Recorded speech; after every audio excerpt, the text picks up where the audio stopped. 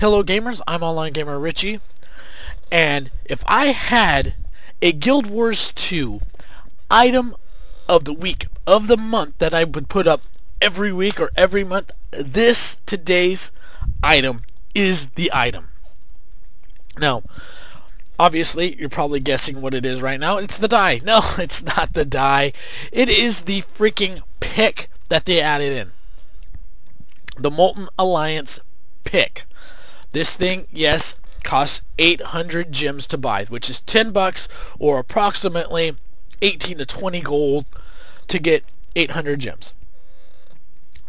However, this thing is going to save you money in the long run from buying picks. So the longer you play the game and the more you use the pick, the more money you're going to save.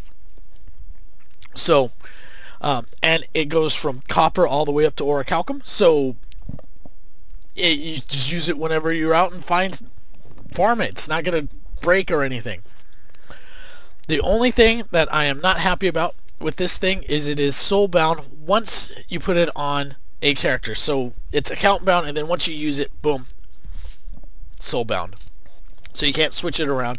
So if you plan on farming with three or four different characters, you may want three or four of them. Now, like I said, this thing is really cool. The amount of money you're going to save is going to be phenomenal over the long run.